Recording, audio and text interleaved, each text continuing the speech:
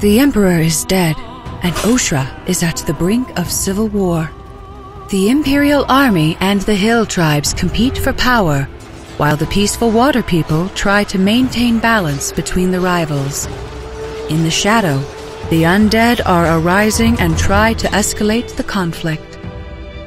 You take the role of one of six children of the Emperor. Which side will you choose? Hidden Leaders is a quick card game with deduction elements for two to six players and features more than 70 unique characters. In the game, you play hero cards to influence the power track until a certain number of open heroes is reached.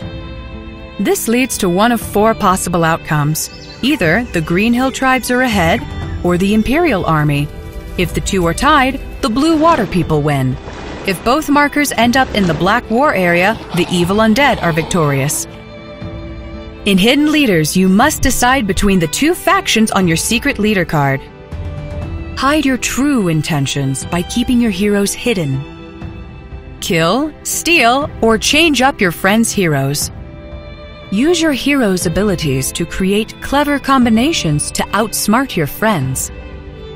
But most importantly, you must be on the winning side at the end of the game. When several players support the same winning faction, only the player with the most heroes of this color will win the throne of Oshra.